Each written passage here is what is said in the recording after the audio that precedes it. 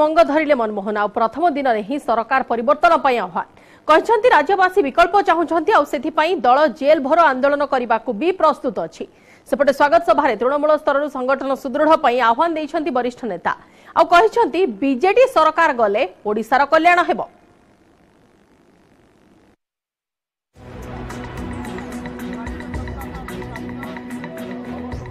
ବିଜେପିର ମଙ୍ଗ ଧରିଲେ ମନମୋହନ। ଭୁବନେଶ୍ୱର ରାଜ୍ୟ କାର୍ଯ୍ୟାଳୟରେ ନୂଆ ବିଜେପି ସଭାପତିଙ୍କୁ ସ୍ୱାଗତ ଜଣାଇଥିଲେ ବିଦାୟୀ ସଭାପତି ସମୀର ମହାନ୍ତିଙ୍କ ସମେତ ଅନ୍ୟ ନେତୃବୃନ୍ଦ। ଆଉ କହିଛନ୍ତି ଯେ ଆମର ଗୋଟିଏ ଲକ୍ଷ୍ୟ ବିଜେଡିକୁ ହରାଇବା। ଲୋକେ ଚାହୁଁଛନ୍ତି ବିଜେପି ବିକଳ୍ପ ସରକାର କରୁ।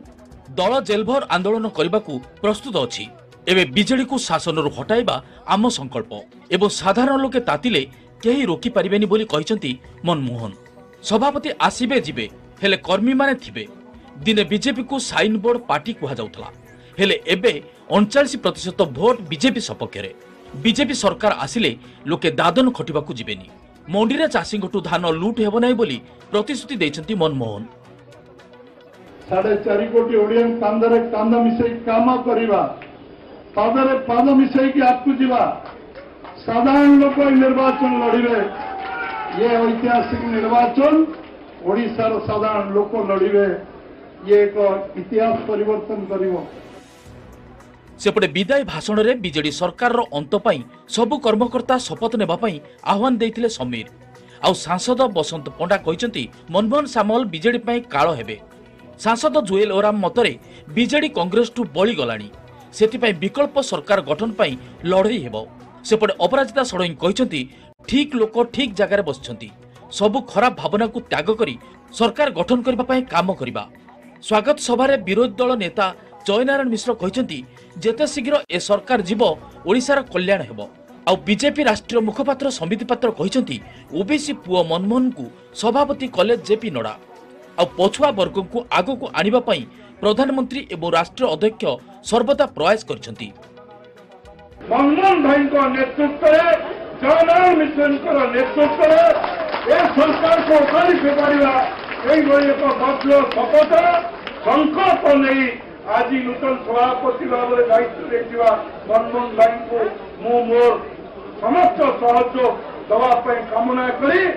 आज शासन मो विदाय नौसी कौन उत्तर देवाई ये सरकार मंत्री मैंने चाहूना दक्षता नहीं विधानसभा ढड़ा ही पड़े तो एमती सरकार को रखा आम या जल्दी विदाय दवा সেটাই ওড়িশার মঙ্গল হব।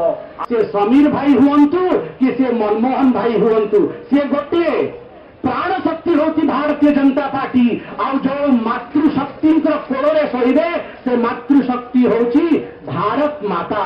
ভারত মাতা ভাই সমীর ভাই और मनमोहन भाई गोटे आदरणीय श्री जेपी नड्डा आम राष्ट्रीय अध्यक्ष तांको पाई करताली हो से आदरणीय मनमोहन स्वामीजी उपरे विश्वास रखिकी आस्था আজ आज এই জায়গার এই সিট এই চৌকি বসাইছন্তি। এটা আমার গর্বর কথা, আম সমস্ত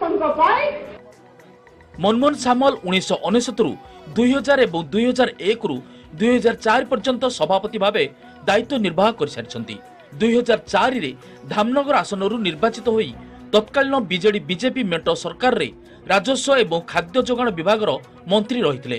ଏବେ ମନମୋହନଙ୍କୁ ରାଜ୍ୟ ବିଜେପିର ମଙ୍ଗଧରାଇ ଓଡ଼ିଶା ଦଖଲର ପ୍ଲାନ୍ ତିଆରି କରିଛି ପଦ୍ମ କ୍ୟାମ୍ପ। ଠିକ୍ ବର୍ଷେ ପରେ ସାଧାରଣ ନିର୍ବାଚନ। ତେଣୁ କେନ୍ଦ୍ରୀୟ ନେତୃତ୍ୱ ବର୍ତ୍ତମାନଠୁ ମିଶନ ମୋଡରେ। ବିଜେପିର ପଶ୍ଚିମଗଡ଼ ସୁଦୃଢ଼ ଥିବାବେଳେ ଉତ୍ତର ଓଡ଼ିଶାରେ ମଧ୍ୟ ଶକ୍ତ ରହିଛି। ତେବେ ମନମୋହନଙ୍କ ପାଇଁ ହାତରେ ସମୟ କମ୍ ଥିବାବେଳେ ଚ୍ୟାଲେଞ୍ଜ କିନ୍ତୁ ବହୁତ ବଡ଼। ଭୁବନେଶ୍ୱରରୁ କ୍ୟାମେରାମ୍ୟାନ୍ ଆଲୋକ ମିଶ୍ରଙ୍କ ସହ ଦୁଷ୍ମନ୍ତ ବେହେରା ନ୍ୟୁଜ୍ ଏଇଟିନ୍ ଓଡ଼ିଆ।